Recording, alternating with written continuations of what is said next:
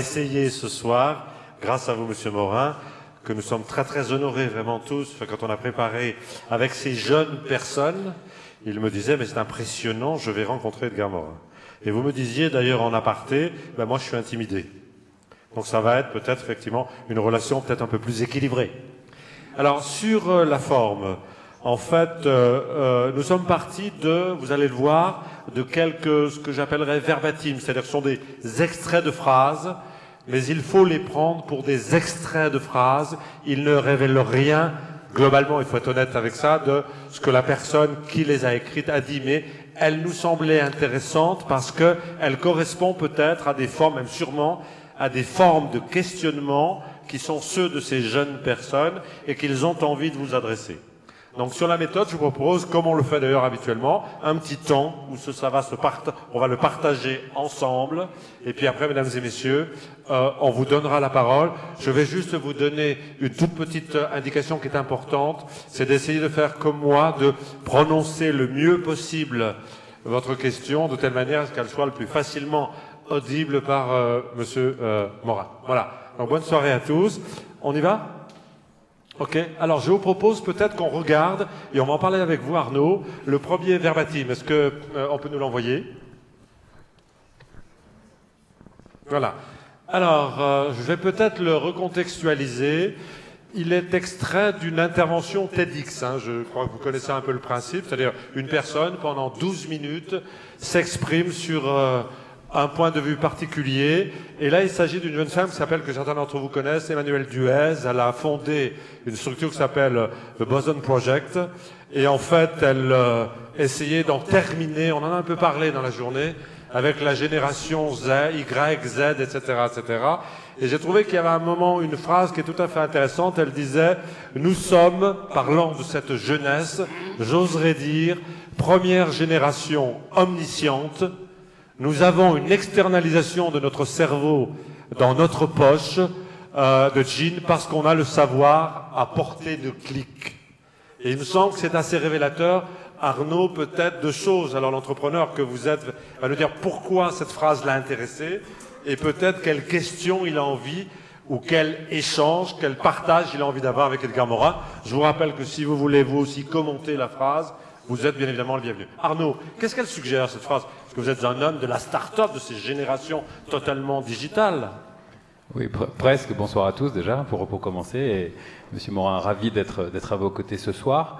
Euh, bah, elle, suggère effectivement que l'accélération de la technologie ces dernières années nous donne le sentiment d'avoir à portée de main, à portée de clic, euh, dans nos poches et sur nos sur nos bureaux, l'accès à euh, un cerveau, euh, enfin une externalisation de notre cerveau, mais finalement euh, à tout un tas de cerveaux connectés. Et d'une certaine façon, semble laisser penser que l'acquisition des savoirs est peut-être plus facile, en tout cas plus rapide, et que finalement on n'a peut-être plus besoin de passer du temps à mémoriser, intégrer de l'information, puisque cette information, elle est dans mon téléphone, elle est sur Internet, elle est facilement accessible. Alors ça, c'est ce que ça laisse penser, et c'est vrai que euh, nous qui sommes une organisation internationale de, soutien à des entrepreneurs sociaux, ce qui nous a frappé lorsqu'on a commencé à travailler avec à peu près un millier de, de, de personnes qui essayaient de transformer, de réformer l'éducation, on s'est rendu compte que ce sur quoi ces personnes travaillaient un peu partout dans le monde, euh, c'était pas uniquement l'acquisition des savoirs, c'était plutôt les savoir-être. C'était de se dire, les hard skills, finalement, en bon français, euh, sont des choses que l'école sait nous apporter. On est dans une vénérable institution aujourd'hui qui, je crois, euh, sait comment aider tout un tas de, à aider des générations et des générations à accumuler, à intégrer du savoir. La question que se posent pas mal d'entrepreneurs sociaux qui essaient de repenser l'éducation aujourd'hui, c'est de se dire est-ce que finalement le savoir euh, apprendre à lire, écrire, compter, pour faire simple, c'est suffisant? Ou est-ce que aujourd'hui, dans le monde qui s'annonce, dans un monde dans lequel vraisemblablement on va changer, ou nos enfants vont changer 10 fois, 15 fois, 20 fois de métier dans leur vie, est-ce que est-ce qu'il n'est pas aussi nécessaire de pouvoir acquérir et maîtriser d'autres compétences que seraient l'empathie, la résilience, la capacité à prendre des risques, la capacité à collaborer, etc. Toutes sortes de choses que malheureusement, on doit dire, on n'apprend pas nécessairement dans nos écoles. Donc moi j'avais envie de vous faire réagir sur ce point-là entre justement le, les savoirs et le, savoir-être Écoutez, euh, très belle et très vaste question. Euh, bon, tout d'abord, je ne dirais pas que vous êtes la première génération omnisciente, parce que euh, je veux dire que la connaissance, ce n'est pas l'accumulation des connaissances. Bien entendu, vous pouvez trouver dans Google, dans Wikipédia, vous pouvez trouver tout ça, euh, beaucoup de, de connaissances, beaucoup. Mais il est évident que la connaissance en elle-même, qui est une organisation des informations, est elle-même nécessite ce qu'on peut appeler une pensée qui elle-même organise les connaissances. Or, la façon dont sont organisées les connaissances, c'est ça la question clé. Par exemple, moi, je pense que nous sommes dans une société où les principes organisateurs de la connaissance sont la disjonction, la séparation des connaissances entre elles, selon les disciplines, et la réduction, c'est-à-dire on s'efforce de réduire le complexe au plus simple, aux éléments les plus simples. Et le résultat, euh, aussi bien pour vous euh, que pour les chefs d'État qui ont des rapports, des experts très sophistiqués, mais qui sont très compartimentés, il y a une incapacité à relier les connaissances entre elles parce que manque une méthode de relier ces connaissances. Et nous sommes, à mon avis, dans une époque de connaissances aveugles. C'est-à-dire, nous pouvons savoir beaucoup de choses en détail, mais nous sommes très défaillants pour comprendre l'ensemble. Prenez la question de la mondialisation actuelle. Vous pouvez évidemment savoir des choses sur l'économie, sur les religions, sur la sociologie, sur la psychologie, sur tous les domaines de la démographie, mais relier ces connaissances, connaître un peu les processus qui sont en cours, savoir, essayer de savoir où ils vont, tout ceci est une tâche très difficile que vous ne trouverez absolument pas dans le petit ordinateur que vous avez dans votre euh, iPhone ou dans, ou dans, ou dans votre poche. Ce que vous avez dans votre poche, ce n'est pas un cerveau. Bien entendu, vous avez tout à fait raison de montrer que le progrès humain a été d'externaliser euh, nos possibilités, c'est-à-dire au début, on avait des outils manuels. Dès qu'on a pu réussir à, à, faire que les machines fassent ce travail, elles l'ont fait. Et de même, on peut dire que l'ordinateur accomplit un certain nombre de tâches qui, même sur le plan du calcul, dépassent les capacités de notre cerveau. Mais ce qui manque à ces ordinateurs, c'est une capacité, justement, non seulement de bien relier ces connaissances, de les bien les organiser, il leur manque cette chose que les spécialistes qui ont étudié le cerveau, comme Damasio ou Jean-Didier Vincent ont montré, ils ont montré que euh, il n'existe pas de rationalité pure. Dès qu'un centre rationnel de l'esprit chez un mathématicien, par exemple, est activité, il active un autre centre qui est émotionnel. C'est-à-dire que même le mathématicien, il a l'amour ou la passion des mathématiques. Et notre intelligence humaine, elle n'a pu fonctionner que par cette sorte de dialectique permanente entre le sentiment, la passion, l'amour, la sympathie et les capacités d'organisation rationnelle. D'autre part, j'ajouterais que la raison dont on dispose, euh, la raison classique, est tout à fait insuffisante pour comprendre les grands problèmes. Pourquoi? Prenez les sciences, on arrive à un moment donné, on arrive à des contradictions fondamentales, que ce soit en microphysique, en astrophysique, etc. Nous-mêmes, êtres humains, nous sommes un tissu de contradictions. Donc, si vous voulez, nous avons une pensée très limitée. Donc, je veux dire que aujourd'hui, on se gargarise un peu trop avec l'idée que non seulement on est une société où on est très bien informé, mais on est une société où les connaissances n'ont jamais été. C'est vrai, quantitativement, c'est vrai, mais organisationnellement, ce n'est pas vrai. Et il y a une reconquête de la connaissance à faire. Et sur le plan de la connaissance, un dernier mot, parce que moi-même, j'ai proposé depuis longtemps, dans mes livres et mes propositions de réforme de l'enseignement, que soit intégré partout, dès peut-être le primaire et dans le secondaire aussi, jusqu'à l'université, ce que l'on peut appeler la connaissance de la connaissance. C'est-à-dire, on nous donne des connaissances, mais sans savoir ce que c'est que la connaissance. Or, ce qui est de très intéressant, c'est que la source de la connaissance est en même temps la source de l'erreur et de l'illusion. Nous savons aujourd'hui, par les sciences cognitives, qu'il n'y a aucune différence intrinsèque entre une hallucination et une perception. Nous savons, par exemple, que le phénomène le plus banal, c'est-à-dire ma perception de cet auditoire ici présent, sur le plan de ma rétine, les gens du dernier rang sont très petits, alors que les gens du premier rang sont beaucoup plus grands. Mais sur le plan de ma conscience, vous êtes tous de la même taille, parce qu'il y a ce mécanisme qu'on appelle la constance perceptuelle qui rétablit.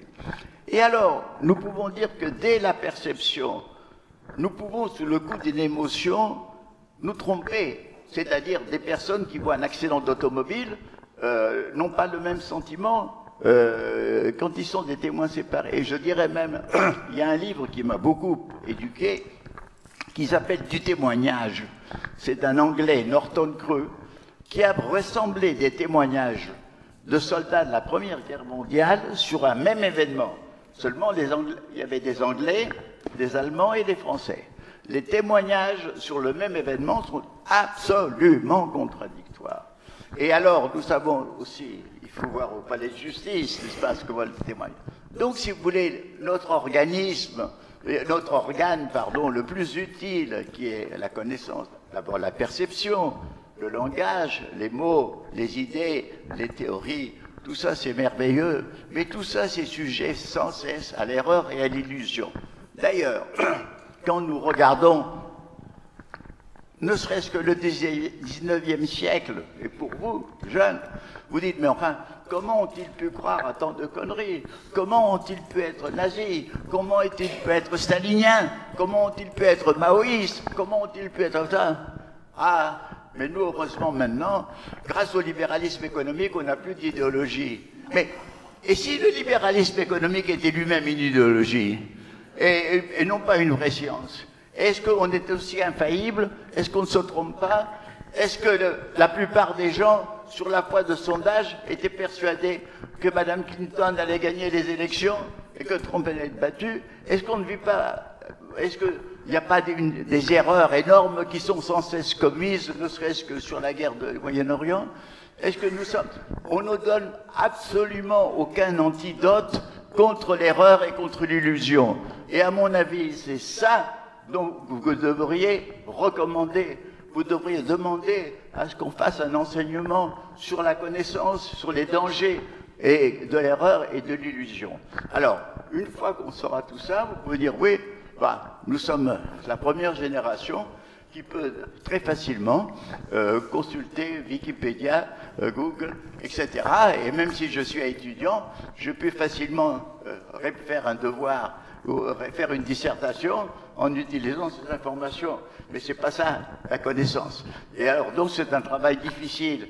Vous savez, la complexité, c'est de réunir des, des éléments différents d'une même réalité et de les mettre ensemble. C'est une tâche euh, que l'on devrait enseigner justement parce qu'il faut du temps pour savoir faire ça. Et ne croyez pas que tout ce qui vous est donné immédiatement, euh, avec facilité, ça vous est très utile, mais c'est pas ça la vraie connaissance et c'est pas ça la pensée. Nous avons, nous sommes, je dirais, nous sommes dans une époque de carence et de vide de la pensée. Il suffit de regarder ce qui se passe au moment des primaires. Vous envie de réagir, euh, Arnaud, ou euh, l'un d'entre vous a envie de poursuivre un petit peu sur cette idée-là, euh, Arnaud, ou peut-être Kevin ou Léna? Oui, enfin, merci déjà pour, pour cet éclairage et, évidemment j'abonde. Vous avez partiellement répondu à ma question puisque vous avez effectivement formidablement éclairé cette notion de connaissance. Et moi, je voulais vous entendre aussi sur la passerelle entre finalement les connaissances et les compétences. Comment est-ce qu'une fois qu'on acquiert ces connaissances, on doit se comporter? Quelles sont finalement les compétences qu'on doit développer pour utiliser au mieux cette compétence et pour effectivement contribuer à un monde qui va non seulement redonner une sa place belle à la pensée, mais aussi à l'action, et à l'action au service de tous, comme le disait Denis en introduction. Bien sûr, mais vous savez, euh, toute action nécessite une, pensée. Là aussi, il y a un problème de, complexité que moi j'ai appelé l'écologie de l'action. Ça veut dire quoi? Ça veut dire que quand une action est entreprise, elle va entrer dans un jeu dans la société, dans le monde extérieur, d'action et d'interaction et de rétroaction, qui vont échapper à celui qui l'a déclenché. Et à ce moment-là, même l'action peut se développer dans le sens contraire aux intentions. Ce qui est arrivé très souvent dans l'histoire, que ce soit la, guerre, la, conquête de la Russie par Napoléon ou la conquête de l'URSS par euh, Hitler. Donc, si vous voulez, euh, être conscient que toute décision est un pari. Alors, c'est très important parce qu'on sait que si c'est un pari, il y a toujours des chances que ça puisse ne pas marcher. Et ça détermine une deuxième chose, une stratégie. C'est-à-dire, la stratégie consiste autant que possible à suivre l'action, à corriger son fil, et si l'action est trop mauvaise, comme la NASA le fait quand, par exemple, un missile dévie son trajet, on le fait exploser et on échoue. Donc, si vous voulez, le problème de l'action dépend d'une réflexion préalable, d'une pensée qui voit la complexité de la situation. Alors, beaucoup disent, ah oui, mais si on voit trop la complexité, euh, on, est paralysé. Oui, on est paralysé, sauf si l'on sait que l'on fait un pari. Et si on fait un pari, on le fait pas seulement en fonction d'intentions que l'on pose bonnes, mais en fonction de chances objectives que l'on peut trouver. Donc si vous avez cette conscience que vous êtes toujours avec un risque d'incertitude, avec dans l'aléa, avec une possibilité de transformer d'action, là vous aurez une action beaucoup plus féconde que si vous pensez que basant sur le rapport de vos techniciens, de vos experts, de vos spécialistes, vous dites voilà, je vais dans ce sens-là et c'est gagné. Merci. On, avance un petit peu. Vous avez envie de compléter, non euh, On avance, Léna, sur. Euh, voilà. Alors, Léna, un deuxième. Euh, donc, ce, Léna a un deuxième verbatim. On va le regarder. Alors c'est un extrait, c'est sur un blog, hein, on va se balader sur un blog et on trouve à un moment donné une jeune femme qui s'appelle Marion, et qui nous dit Je suis une jeune femme de 26 ans et paraît-il toute la vie devant moi. Je pars sur ce chemin non tracé, sombre et lugubre. Il est effrayant, mais bien souvent, c'est grâce à la peur que nous avançons. Pas de dragons, de hobbits, de, loups-garous. Ce n'est pas un jeu vidéo, mais c'est la vraie vie où tournoient autour de nous nos futurs employeurs condescendants face à notre ignorance. C'est intéressant. Et ça, Léna, ça vous a euh, interpellé Oui, tout à fait. Alors, Léna a une question à vous poser par rapport à ça, si vous voulez bien, Monsieur Morin. D'abord, pourquoi, Léna, pourquoi cette phrase En quoi elle résonne Et qu'est-ce qu'elle pose comme question pour vous? Bonsoir. bonsoir à tous. Euh, moi, ce que j'interprète de notre génération et de la jeunesse, c'est qu'on arrive à transformer cette peur et cette colère, ce chemin lugubre qu'on sent, qu'on ressent, on est, on est une génération angoissée, mais j'ai l'impression qu'on arrive à la transformer en énergie positive. J'ai l'impression qu'on arrive à transformer toutes ces peurs, toutes ces angoisses qui nous responsabilisent en énergie, en action, dont vous parliez tout à l'heure. On, essaye de s'engager en politique, mais de s'engager un peu différemment, parce qu'on n'y croit plus vraiment. On essaye de s'engager dans des actions associatives. On crée des nouveaux modèles des nouveaux modèles d'entreprise, d'entrepreneuriat social, où on essaye de repenser la manière dont on agit aujourd'hui avec ces leviers d'action qui sont des, leviers finalement de, peur et d'angoisse pour le monde de demain. Donc la question que j'avais envie de vous poser est une question très pratico-pratique. Euh, comment est-ce que vous faites aujourd'hui pour continuer à y croire encore, pour continuer à être jeune dans votre tête et pour continuer à être optimiste avec tout ce que vous avez vu et avec euh, ce qui s'est passé encore une fois cette nuit? Et comment est-ce que vous pouvez nous, nous outiller, nous la jeunesse, nous transmettre cette joie de vivre et cette envie de continuer et d'avoir confiance en demain?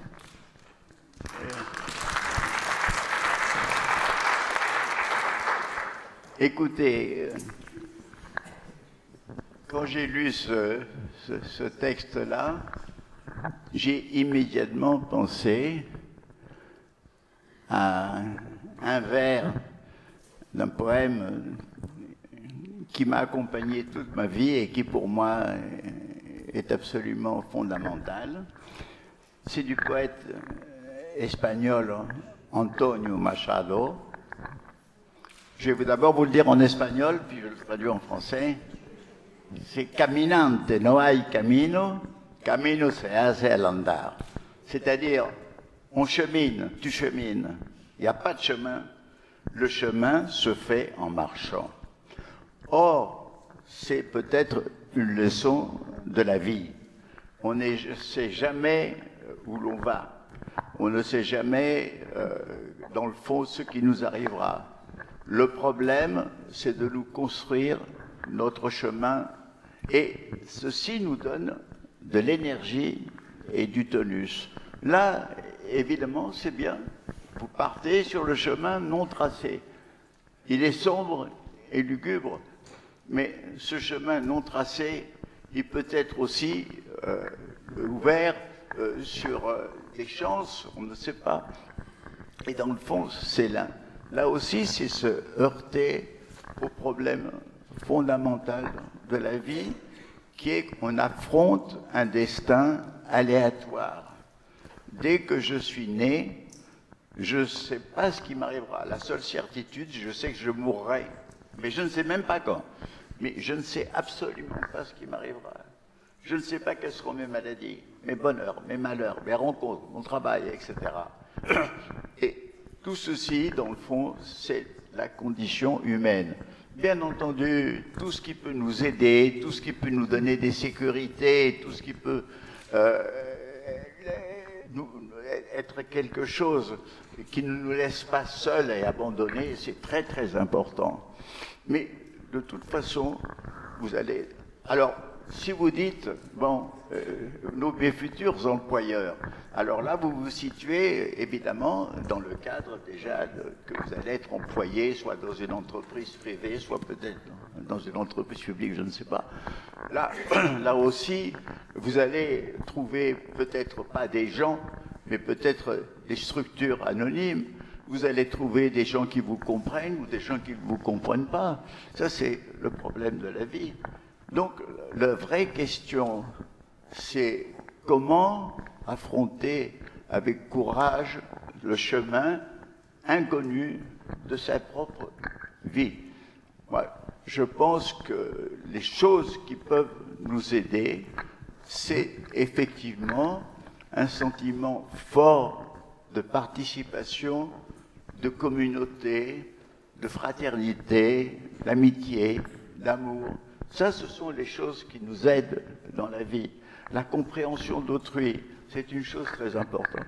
Donc, à mon avis, euh, la, question est de ne pas se sentir seul, d'échapper à la solitude euh, qui elle-même, par elle-même, secrète euh, des tourments et secrète de désespoir.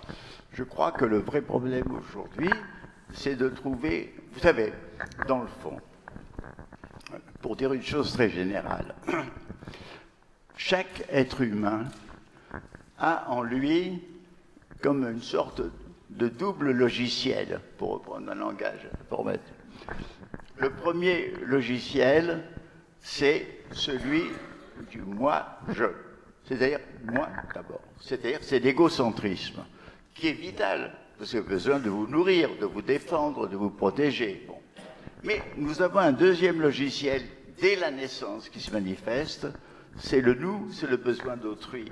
Le bébé, il a besoin de la caresse, il a besoin d'être bercé, il a besoin d'être embrassé. Et dès qu'on grandit, on a besoin de l'amour des parents, des frères, des sœurs, des amis, tout ça. Donc, nous avons besoin du nous.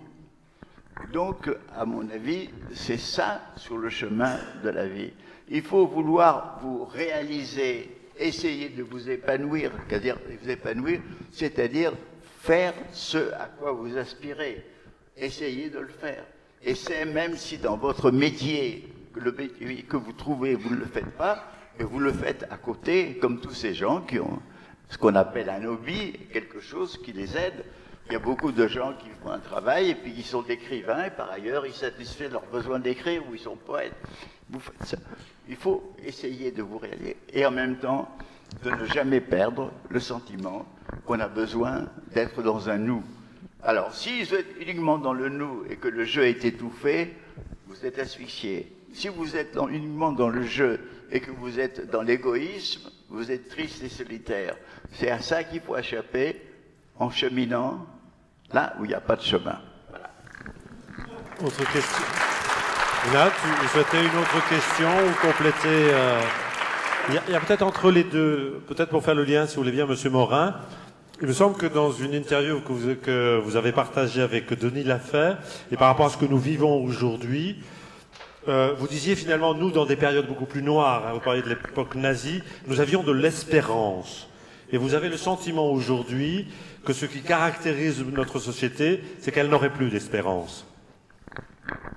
Vous savez, euh, c'est vrai dans un sens, mais euh, l'espérance, pour parler de l'expérience de ma génération, c'est-à-dire de quelqu'un qui a eu 20 ans en 1941, c'est-à-dire au moment le plus, enfin en juillet 41, le plus désespérant de la guerre. Pourquoi c'était le moment le plus désespérant? C'est parce que non seulement l'Allemagne nazie avait dominé l'Europe, mais elle était entrée comme dans du beurre dans l'Union soviétique. Ils avaient bousculé, détruit, fait prisonnier les armées soviétiques. Ils étaient arrivés à encercler Leningrad. Ils étaient arrivés aux portes de Moscou en septembre. Donc, ça semblait, je me souviens très bien d'un article de Emmanuel Mounier dans Esprit en disant maintenant l'hypothèque du communisme est levée. J'ai fini. Bon. Or, il s'est passé une chose inattendue, encore plus inattendue que l'élection de M. Trump. Il s'est passé une chose inattendue. La première chose inattendue est climatique. C'est-à-dire que des pluies diluviennes inattendues ont d'abord entièrement embourbé l'armée nazie. Et ces pluies diluviennes ont été suivies immédiatement par un gel précoce. Alors, ce qui est intéressant, c'est que Hitler, qui avait attaqué l'URSS le 21 juin, avait différé d'un mois son attaque. Pourquoi? À cause d'un événement inattendu, c'est que son ami Mussolini, au lieu de conquérir la Grèce comme il le pensait, s'était fait refouler par la petite armée grecque.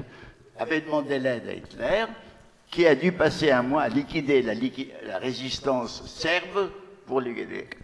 La deuxième chose inattendue, c'est que Saline a été visé par son agent à Tokyo, Sorg, que le Japon n'attaquerait pas la Sibérie. Donc il a pu divertir toute son armée d'Extrême-Orient sur le front de Moscou. Et le 3 décembre 1941, le commandement qui a été donné à un général très capable, Yukov, un des grands généraux de l'histoire, Yukov déclenche la première contre-offensive, la première victoire soviétique sur l'Allemagne, qui réussit à refouler de 200 km l'armée allemande. Mais deux jours après le début de cette offensive, le Japon attaque à Pearl Harbor les États-Unis et dont toute la masse énorme entre dans la guerre et qui devient une guerre mondiale, comme l'avait prévu De Gaulle. Donc, en trois, quatre jours, ce qui semblait absolument probable, la victoire pour des centaines d'années du nazisme sur l'Europe commence à devenir beaucoup moins probable, et ce qui était improbable, c'est-à-dire la victoire des Alliés et notre libération. Et là, l'espoir est venu. Et c'est vrai que quand il y a eu cet espoir, il y, a eu, il y avait beaucoup de résistants qui avaient commencé la résistance avant. Mais moi, c'est à ce moment-là que je me suis déclenché, parce qu'effectivement, il y a eu l'espoir. Mais espoir fragile, il n'y avait pas eu encore Stalingrad, etc. Mais je pense que, pour revenir à cet exemple, c'est que l'improbable est arrivé. et que je pense aussi que souvent des événements euh, qui semblent nous conduire sur une pente fatale peuvent être contrariés par l'arrivée d'un improbable. Autrement dit, moi je suis quelqu'un qui garde l'espoir, même dans les circonstances les plus sombres. Mais ça ne veut pas dire qu'un espoir c'est la certitude. Je sais qu'on peut échouer, je sais que la barbarie peut gagner, je sais tout ça. Mais je sais que rien n'est absolument décidé. Et c'est pour ça, je crois que. Alors, voici une génération qui se trouve effectivement ayant perdu beaucoup d'illusions des générations précédentes. Je disais tout à l'heure que, bon, prenez par exemple mai 68. Il y a eu une révolte étudiante qui, à mon avis, a été soulevée par des aspirations euh, typiques de la, de la, jeunesse, si vous voulez, des aspirations euh, plus d'accomplissement, plus de liberté, de révolte contre l'autorité, euh, de révolte contre la société adulte, enfin, toutes ces choses-là, et en voulant un monde plus paternel. À ce moment-là, sont venus des petits groupes, ce qu'on appelait à l'époque des petits groupuscules, des trotskistes, des maoïstes, qui leur ont dit, vous, savez, vous avez raison, c'est nous qui allons réaliser vos aspirations. Et une grande partie de ces jeunes ont cru. Et ils ont cru jusqu'à ce qu'ils ont été, évidemment, désillusionnés. Donc, le vrai problème aussi, c'est que on a les aspirations, elles renaissent sans arrêt. Et c'est pour ça que l'espoir renaîtra toujours. Mais elles peuvent être trompées, elles peuvent être dupées. Et c'est pour ça que je reviens à ce que je disais tout à l'heure, que le problème de l'erreur et de l'illusion est très important. Moi, je suis, je pense que, par exemple, moi j'ai gardé toutes les aspirations de ma jeunesse, mais j'ai perdu toutes les illusions de ma jeunesse.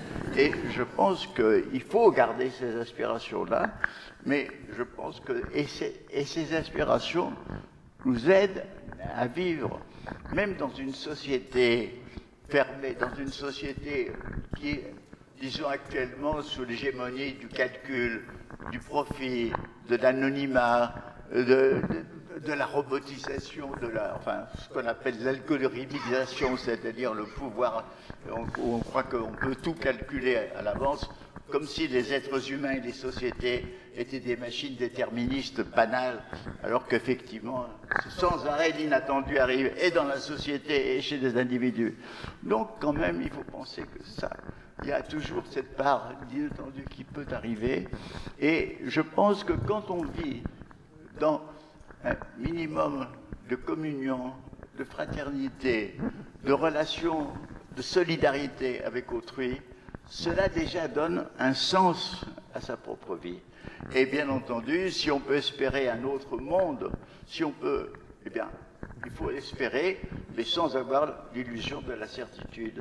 Voilà ce que je crois. Merci Léna. Une autre question, peut-être complémentaire Merci. Juste ma question sera très très courte. Je rêve d'un nous, mais il est où ce nous? Et à quoi ressemble-t-il Je rêve de ce nous, de ce, collectif, mais à quoi ressemble-t-il ce nous aujourd'hui en France?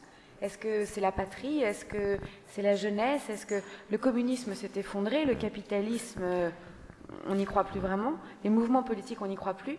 Dans quel mouvement collectif on peut s'engager aujourd'hui? Un mouvement d'espoir.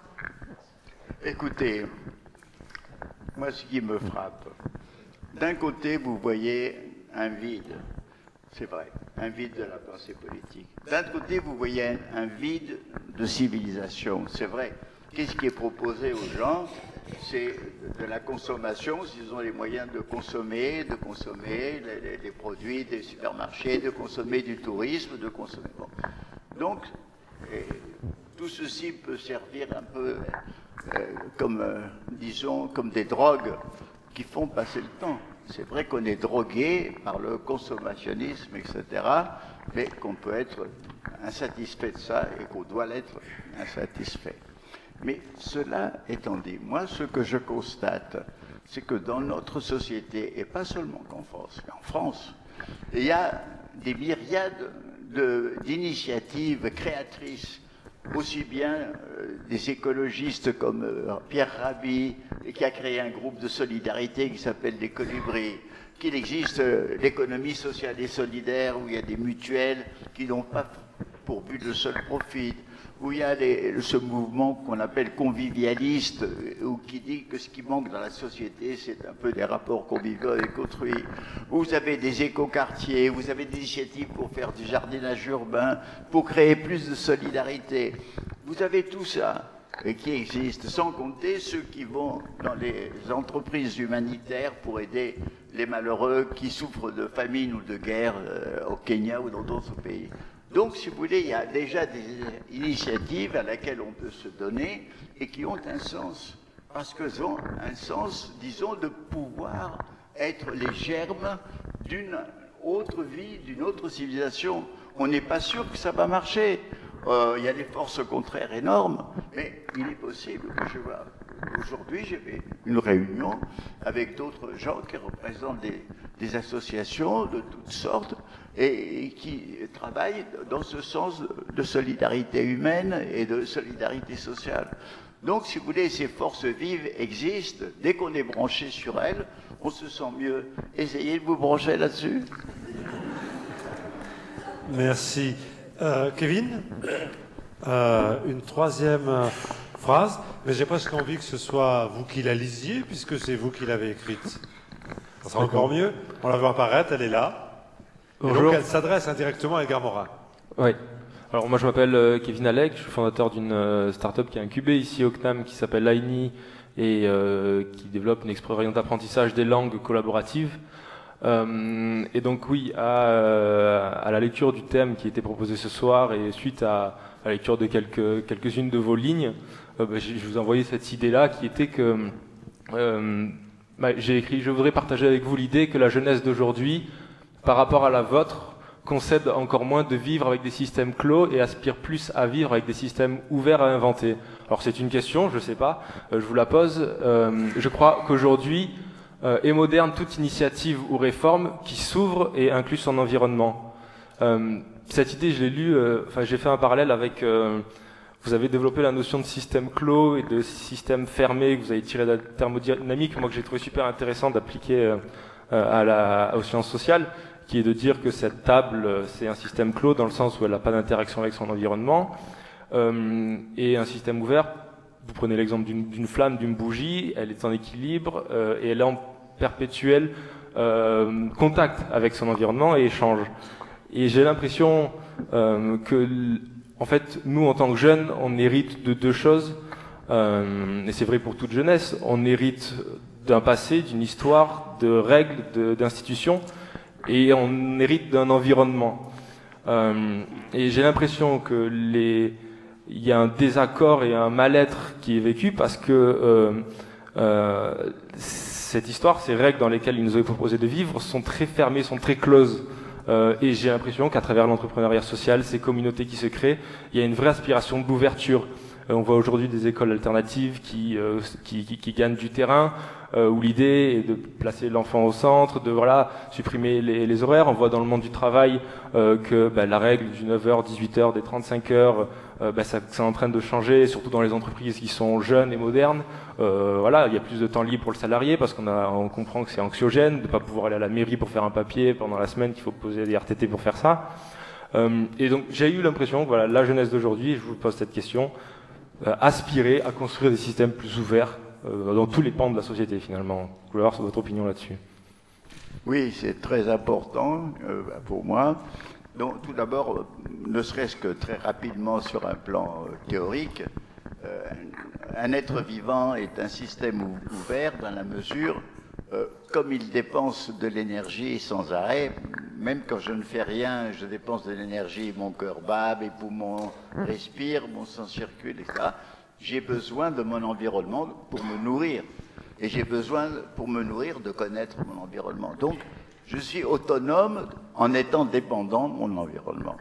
Et c'est une vérité que notre civilisation occidentale a complètement méconnue jusqu'à une époque récente avec la conscience écologique. C'est-à-dire on on croyait qu'on allait dominer notre nature, notre environnement naturel, que les choses vivantes, plantes, animaux étaient des objets à manipuler comme on le pouvait, et qu'on était de plus en plus maître de, la nature et de l'univers.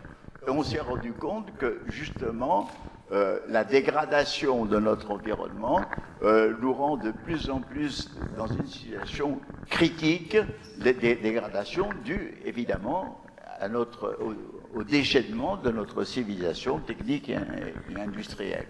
Donc, je crois que ce qu'on appelle la conscience écologique est une conscience justement de, de système ouvert.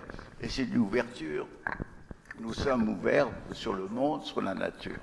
Et alors, il y a aussi une chose, alors maintenant, qui n'est pas seulement euh, ce monde dans lequel nous, euh, nous sommes, et qui a des implications très fortement sur le plan, je dirais, de la conscience politique et sociale, parce que nous pouvons comprendre à ce moment-là que nous devons euh, faire un grand effort économique euh, pour avoir des énergies propres, un grand effort économique pour dépolluer nos villes et déstresser nos vies dans, euh, dans le monde urbain, un grand effort économique pour faire régresser l'agriculture industrialisée l'élevage industrialisé dont les produits sont non seulement totalement standardisés comme des produits d'usine, mais sont aussi insipides et en même temps parfois malsains.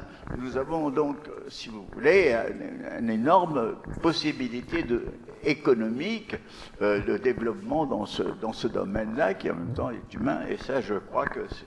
Et, c'est une perspective très belle parce qu'elle nous rendrait une vie meilleure, elle contribuerait à nous rendre une vie meilleure. Mais la deuxième chose que je veux dire, c'est que nous devons être ouverts sur notre condition humaine. La mondialisation, elle a opéré ce phénomène qui est la communauté de destin de tous les êtres humains sur cette planète Terre, quel que soit leur continent. Et pourquoi communauté de destin? Non seulement parce que nous sommes emportés dans cette aventure euh, par des forces, euh, je dirais, euh, qui ne sont incontrôlées, qui sont la science, la technique, l'économie, etc., mais aussi parce que nous sommes confrontés à des dangers fondamentaux pour nous, humains. D'abord, il y a ce danger de la dégradation écologique, dont, dont je ne veux pas répéter les choses, mais mais qui risque donc de provoquer toute une série de phénomènes, migration, transformation, etc. Vous avez le danger de la multiplication des armes nucléaires qui continuent et qui vont en plus vont se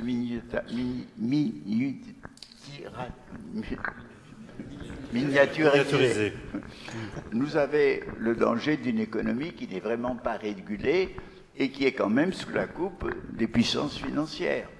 Vous avez le danger dans ce, que les civilisations traditionnelles sont mises en crise par ce qu'on appelle le, développement qui est de l'occidentalisation qui détruit leur structure, qui peut apporter des progrès, en, si vous voulez, en faisant que, en donnant l'autonomie aux jeunes générations par rapport à l'autorité toute puissante des parents, euh, des libertés nouvelles, mais aussi qui détruit des anciennes, euh, des solidarités traditionnelles et et qui apporte aussi, en détruisant ces solidarités, euh, toute une série de mots que nous vivons, c'est-à-dire le, repliement égoïste dans un monde euh, sans solidarité.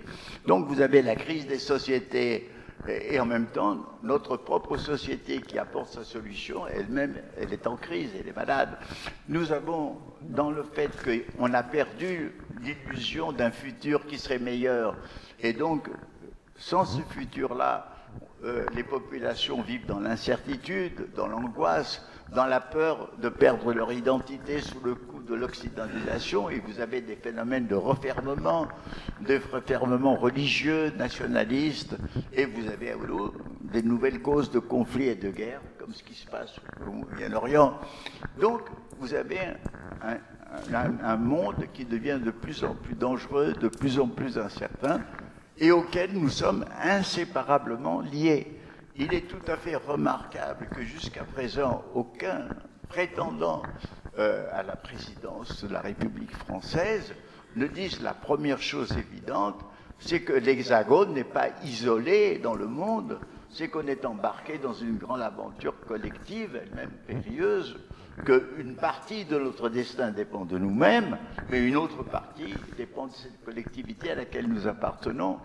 Et moi, je crois aussi que si nous nous rendons compte de ceci, nous devons avoir non seulement une conscience humaniste au sens traditionnel du terme. Qu'est-ce que c'est le sens traditionnel de l'humanisme? C'est de dire que tous les humains, quelle que soit leur origine, leur âge, leur sexe, leurs leur conditions, ont droit au même respect, à la même reconnaissance d'être reconnus comme êtres humains planétaires. Mais l'humanisme, aujourd'hui planétaire, signifie que nous faisons partie de ce destin commun euh, qui peut nous emporter vers des catastrophes ou bien au contraire nous donner un avenir meilleur. Et alors, nous faisons partie d'une aventure qui est l'aventure de l'humanité et qui est une aventure incroyable dès le début, puisque dès le début, dès la préhistoire des Homo sapiens, euh, qui euh, faisait ses outils manuellement et faisait ses propres flèches, était un chasseur-ramasseur, que dès cette époque-là, avant qu'il y ait les cités, avant qu'il y ait les États, avant qu'il y ait les armées, les, humains étaient comme nous. Ils avaient le même cerveau que nous, le même cerveau que Léonard de Vinci, que Michel-Ange. Bon. Or, cette aventure incroyable s'est développée avec la création des empires, des États, des civilisations qui se sont développées, qui se sont fait la guerre, qui se sont effondrées. Et puis nous sommes arrivés au temps moderne avec le développement technique, et nous sommes arrivés à la mondialisation, et nous sommes arrivés au transhumanisme. C'est une aventure absolument incroyable, étonnante, dont nous faisons partie. Et moi, je crois qu'aujourd'hui, nous considérer comme des êtres ouverts, nous devons être ouverts à notre condition, à cette aventure qui nous emporte, qui est inconnue, qui peut aller peut-être plus tard sur d'autres planètes, au contraire échouer comme dans Mad Max, n'est-ce pas euh, la régression la plus totale, nous ne savons pas, mais nous faisons chacun partie de cette aventure. Alors c'est ça, cette conscience qui est nécessaire aujourd'hui et que si elle se propage et si elle s'enracine, peut vraiment contribuer à nous montrer le, village, le visage d'un autre avenir possible. Voilà. Autre question ou pas? Alors, dans l'introduction de Denis, il y avait une dimension particulière. Est-ce que vous avez le sentiment que cette jeunesse a un rôle particulier? À jouer, qui peut peut-être d'ailleurs, je ne sais pas, vous me le direz, constituer une espèce de responsabilité parfois un peu compliquée. Mais est-ce que vous pensez que dans cet avenir fait d'espérance finalement, à travers cet inattendu, à travers tout ce qui peut advenir finalement, euh, la jeunesse va y jouer un rôle majeur? Vous savez, moi je crois que la jeunesse, ou ce qu'on plaît dans un sens élargi, l'adolescence, c'est un âge où l'on est, on a quitté ce cocon protecteur qui était celui de la famille et de l'enfance, et on n'est pas encore intégré dans les métiers ou dans le mariage ou dans la, société adulte. Et c'est une situation entre deux où l'on recherche sa propre vérité, ses propres vérités, on se recherche soi-même. Et c'est un âge, évidemment, très important. C'est l'âge où l'on se forme. Euh, par exemple, j'ai trouvé mes vérités euh, dans des romans, dans des livres, dans des films, etc. On peut la trouver chez des amis, on peut la trouver chez un auteur. Donc, si vous voulez, c'est un âge à la fois de recherche, un âge de tourment, aussi, on se tourmente sur l'incertitude, on est beaucoup plus sensible euh, aux événements et, aux souffrances morales. Et en même temps, c'est l'âge où il y a cette aspiration qui peut se traduire par une révolte, par un refus, disons, de ce que vivent les adultes, on peut vivre autrement. Donc, à mon avis, dans toute génération, il y a cette, la j'ai dit tout à l'heure que chez tout être humain, il y a ce double logiciel, c'est-à-dire l'auto-affirmation du moi et la volonté de s'intégrer dans un nous. Mais ce double aspect est beaucoup plus intense, beaucoup plus fort dans la jeunesse que dans les autres générations, que dans les générations passées, qui se résignent plus ou moins, qui acceptent, qui se laissent domestiquer, etc. Donc c'est un âge important de créativité. Et je pense que cette génération-là, elle doit jouer à fond son propre rôle de jeunesse quitte après à essayer de garder ses aspirations devenues adultes.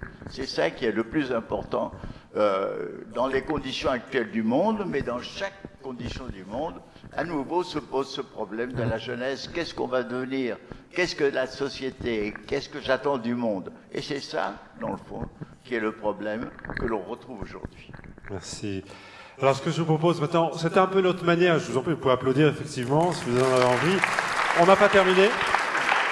Mais, vous voyez, plutôt peut-être que d'être dans des espèces de définitions, c'est peut-être ça. Enfin, je veux dire, à travers ces témoignages, ça dit quelque chose de ce qu'est être jeune aujourd'hui. Ça dit quelque chose de ce que euh, vous, nous, vous nous donnez d'extraordinaire humanité. Enfin, je suis assez impressionné de ce point de vue-là, je vous le dis très franchement. Vous avez peut-être envie, vous, de dire aussi quelque chose. Mais j'aurais peut-être envie de vous demander de ne pas simplement vous adresser à Edgar Morin parce que comme les plateaux aujourd'hui, nous étions ensemble. Donc peut-être avez-vous des questions à poser à cette jeunesse, euh, ou peut-être des choses à partager avec Edgar Morin. Alors monsieur, on va vous apporter un micro. Alors comme on n'est que deux, je, je, voilà, je vais vous l'apporter, moi aussi. Merci. Loïc de la Cochetière, j'ai dirigé des grandes entreprises, notamment l'imprimerie nationale. Je m'adresse à vous. Vous avez un cours d'histoire d'Edgar Morin, sur la campagne de Russie. Et on a entendu ce matin évoquer Elie Wiesel. Les peuples qui ne connaissent pas leur histoire doivent se préparer à la revivre. Je pense que on est dans une civilisation, votre âge, techniciste, digital, etc. N'oubliez jamais ça. Connaissez votre histoire. Deuxième point, et là je vais opposer Edgar Morin et, Denis, qui, qui est intervenu tout à l'heure. J'ai un fils à San Francisco traumatisé, vous l'imaginez, il a 25 ans. Quelle est la personne ici capable de me dire quel est le programme de Trump? Qui est capable, hormis les saillies verbales contre les femmes, qui est capable de m'en parler? C'est-à-dire que on a la caricature d'un programme que l'on ne connaît pas parce que les journalistes nous ont infantilisés. Edgar Morin, il a été communiste. Budapest 56, il a mis des années à quitter le PC parce que la complexité dans sa tête a fait que est-ce qu'on quittait le PC Et aujourd'hui, j'entends diaboliser les populistes. J'ai entendu ce matin, un populiste c'est quelqu'un qui ne pense pas comme nous. Et si on diabolise les populistes, on se prépare les chemises brunes. Si on ne cherche pas à comprendre pourquoi les gens votent populistes, c'est sûr qu'on fait en Autriche, en Allemagne et en France le lit du Front National. Alors, monsieur, quelle est votre question derrière pas. Soyons dans la complexité. Alors, vous vous adressiez aux jeunes aussi. Écoutez, j'aimais bien que vous me disiez parce que j'ai pas tout compris. je peux avoir un petit peu de mal à. Monsieur évoqué, alors, je ne sais pas que je n'ai pas beaucoup écouté, comment on pourrait le. Qu'est-ce que vous avez compris, peut-être, euh, du questionnement? Ah oui, c'est ça mon boulot, vous voyez. Qu'est-ce que vous avez compris un peu du questionnement de, monsieur Enfin, je sais que monsieur évoquait. Hein. Essayez peut-être de le résumer, monsieur, en quelques lignes pour que je puisse le retranscrire à monsieur Morin. Qu'est-ce que vous voulez dire derrière cette démonstration de l'angoisse de votre fils à San Francisco euh, face à la vacuité, hein, c'est bien ça, de, Trump? Edgar, il y a... J'ai entendu diaboliser tout à l'heure le populisme de 50% d'Américains ayant voté pour Trump. J'ai entendu tout à l'heure euh, diaboliser le populisme de ces 50% euh, d'Américains qui ont voté pour Trump. Est-ce que la complexité, donc euh, tes fondamentaux à toi, ne conduisent pas, au lieu de diaboliser, de comprendre pour éviter, il n'y a pas 50% de fascistes aux États-Unis? Je suis démocrate, hein.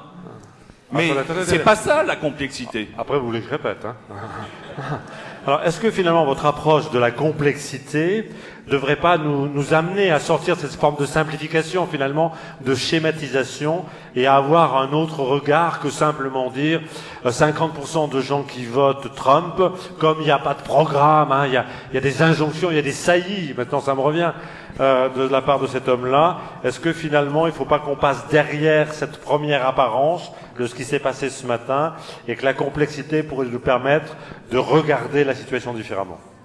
Ça va? Bon, écoutez, vous avez fait, euh, tout- d'abord, j'ai pas bien entendu parce que j'ai une faiblesse auditive et que le micro et la solo brouillent tout dans mon oreille. Mais enfin, je peux reconstituer. Mais d'abord, vous avez fait un peu allusion à ma biographie. Ce n'est pas en 56 que j'ai quitté le Parti communiste. Euh, je l'ai quitté en 49 et j'ai été expulsé en 51. Je veux dire que avant, euh, et, en plus que j'étais un communiste de guerre, c'est-à-dire je suis entré dans la résistance communiste avant Stalingrad, avant tout ça.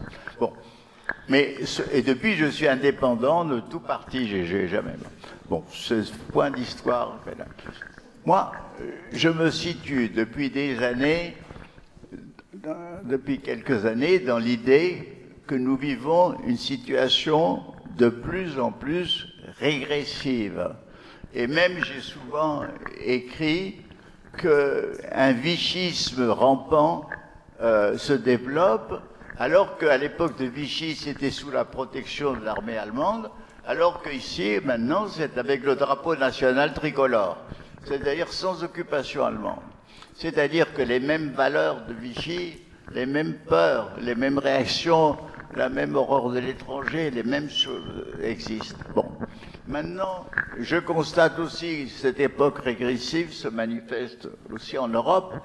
Euh, quand même, euh, on a vu un, un État, euh, on- on- la Hongrie est devenue un État autoritaire, la Russie de Poutine est un État autoritaire, la Pologne glisse vers un État autoritaire, la Turquie est devenue un État hyper autoritaire.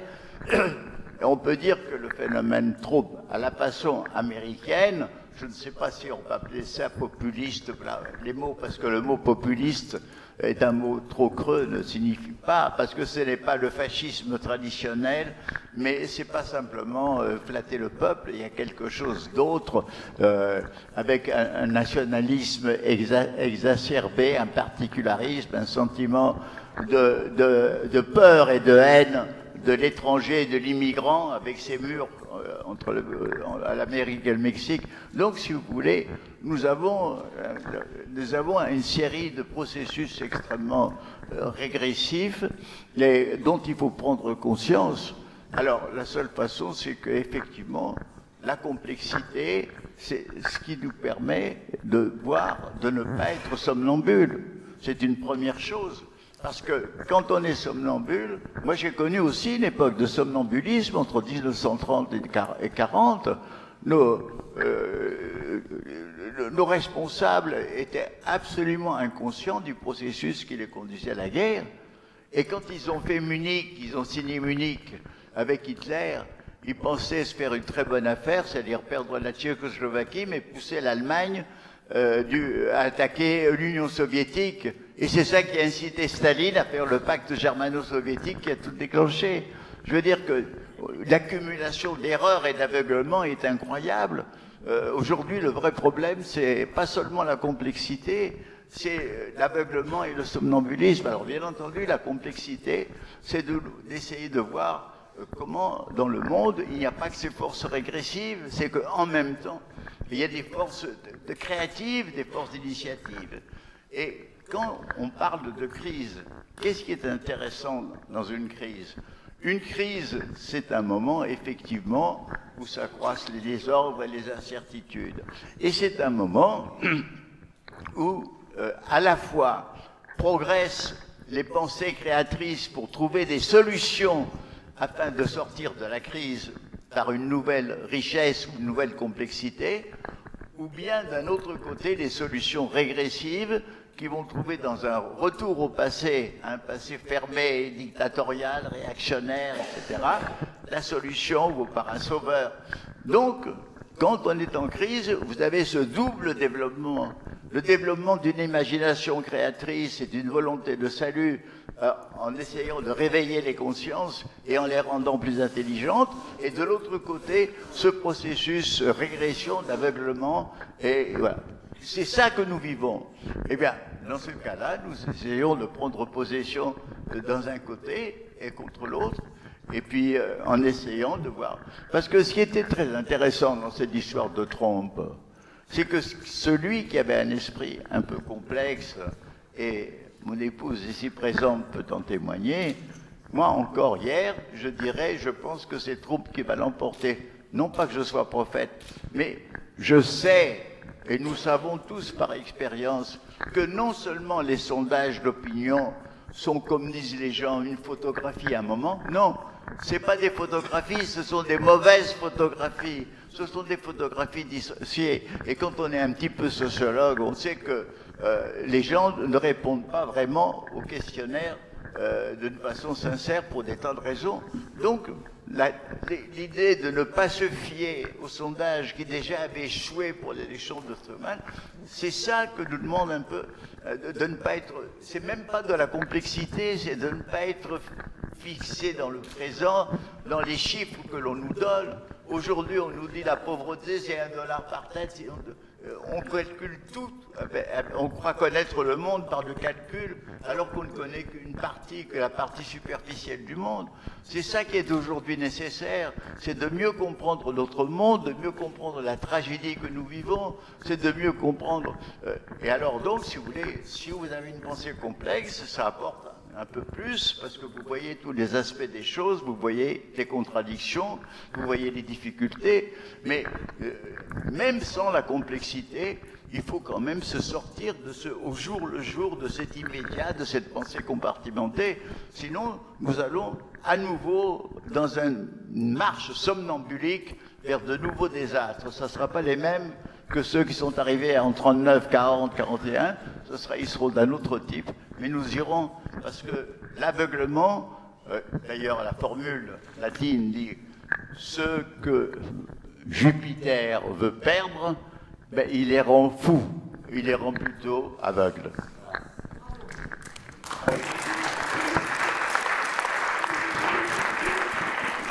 Madame, mademoiselle, vous voulez intervenir? Merci. Euh, bonsoir, euh, je suis ravie d'assister à cette conférence. Merci aux organisateurs de nous offrir ce moment délicieux avec Monsieur Morin et les jeunes entrepreneurs. Euh, Monsieur Morin, vous avez écrit dans un article que résister. Cette jeune fille là, est-ce que je vais peut-être vous demander de vous lever comme ça, Monsieur Morin, vous verra plus facilement. Vous avez écrit dans un article que résister, c'est pardon, fraterniser, c'est résister. Comment aimer et en même temps espérer et en même temps avoir confiance en l'avenir dans ce monde violent et comment on peut expliquer à nos jeunes, euh, pour leur donner confiance, toutes ces incertitudes et toute cette complexité alors, enfin, je vais essayer de reformuler. Hein. Vous disiez donc, Madame, fraterniser, c'est quelque chose de l'ordre de la résistance. Hein. C'est résister. Et comment finalement, dans ce monde violent, donner envie, c'est ça, la jeunesse? D'aimer, d'espérer et de résister. donc comment dans ce monde violent Fraterniser, c'est résister. Mais maintenant, comment dans ce monde violent donner à la jeunesse l'envie d'aimer, de fraterniser et, d'agir ensemble, d'avancer ensemble, c'est ça?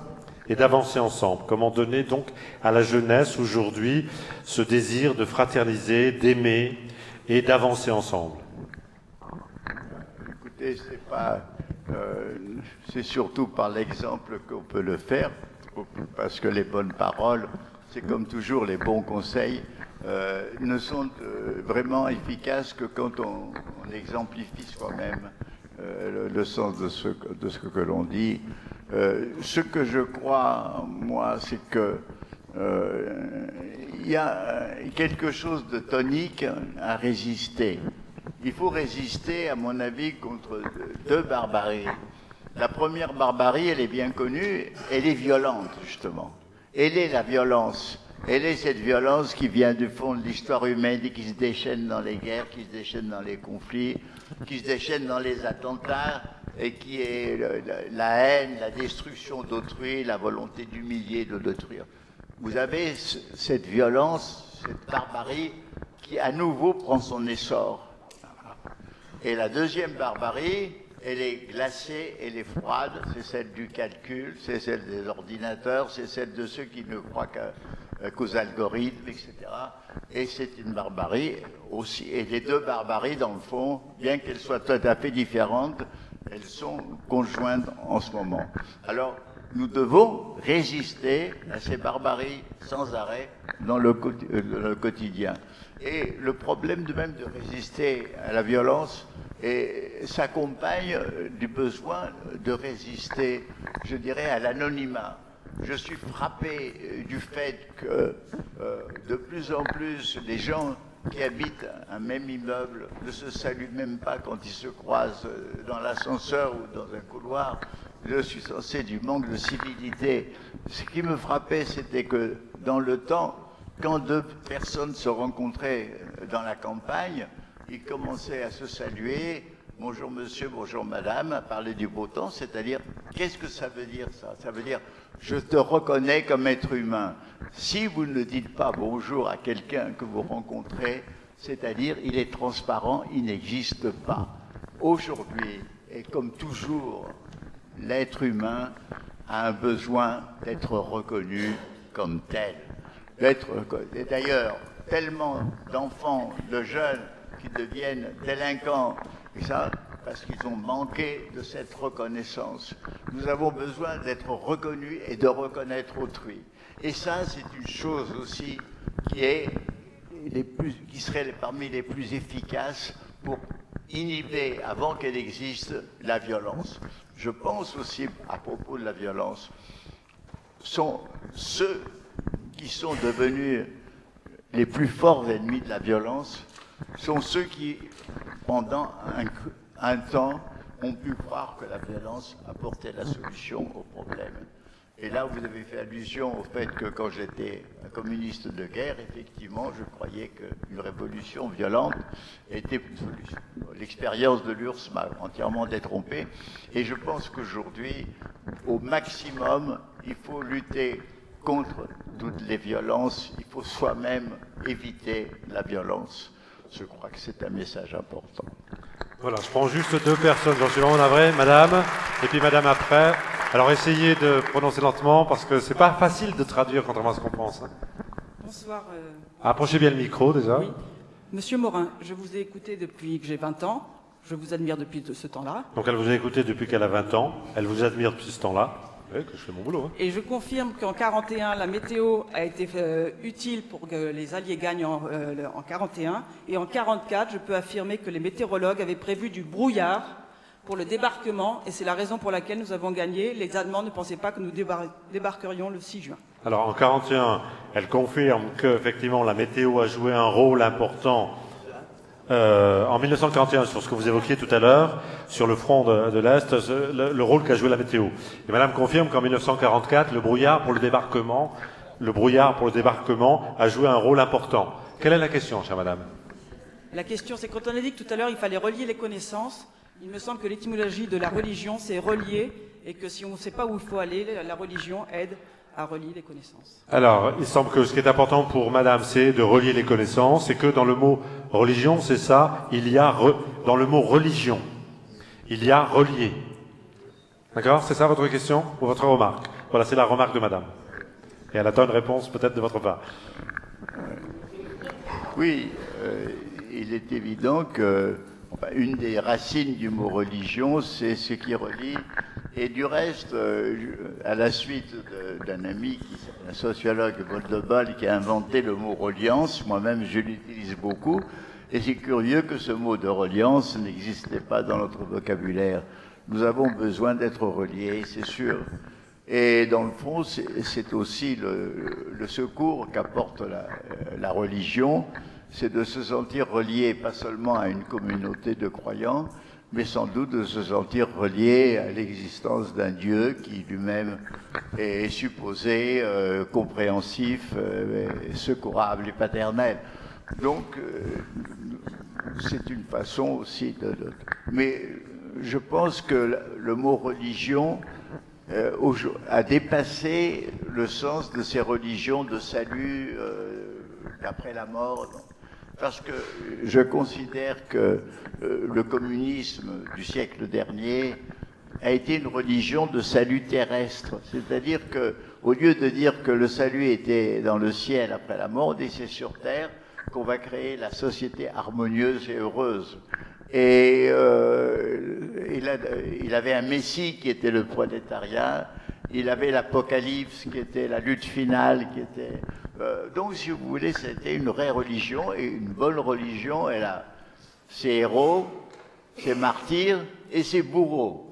Donc, le christianisme, il a eu ses héros, ses martyrs, ses bourreaux. Le communisme a eu ses héros, ses martyrs, ses bourreaux. Donc, et l'islam aussi. Donc, si vous voulez, ce sont des religions. Mais euh, je crois qu'aujourd'hui, nous devons souhaiter une religion peut-être avec des héros, mais sûrement pas avec des bourreaux.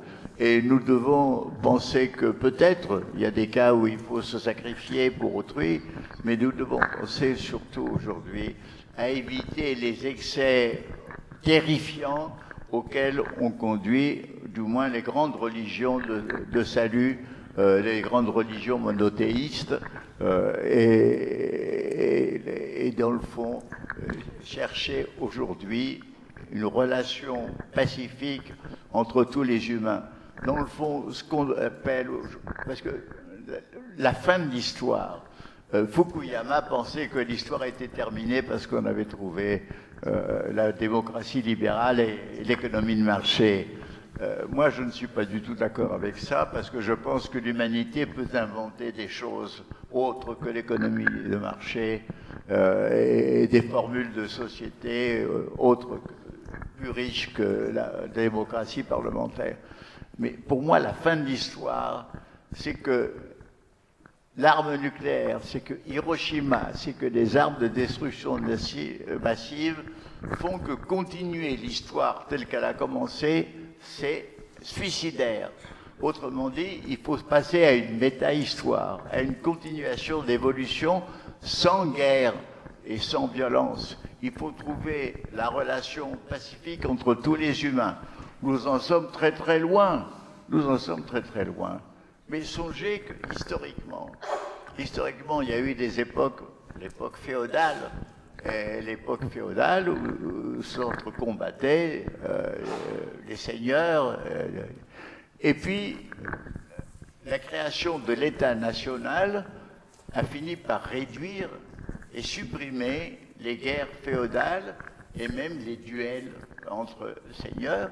Et nous avons pu avoir des États nationaux euh, où il y a une une paix entre les différentes ethnies euh, qu'il a constituées. Donc, en Europe même, bien que l'Europe soit un demi-échec, mais au moins pendant, puisqu'elle a été un échec total pour la guerre de Yougoslavie, mais enfin en Europe, on a réussi, peut-être qu'on va encore durer un peu de temps, à éviter les conflits, les violences, mais ça c'est pas sûr. Mais de toute façon, euh, disons, du point de vue moi je considère qu'il y a deux types d'utopie. Il y a l'utopie d'harmonie parfaite et totale, qui est une utopie folle. Et d'ailleurs, dans le fond, c'est quand on veut imposer aux gens l'harmonie que l'on fait les régimes les pires, ce qu'a voulu faire euh, Mao Tse-tung ou Staline. Donc l'harmonie totale, on ne pourra pas éliminer les conflits, les problèmes, etc. On peut avoir un monde meilleur, mais on ne pourra jamais avoir le meilleur des mondes. Mais il y a une bonne utopie. Il y a l'utopie qui consiste à dire on peut vivre dans un monde sans guerre.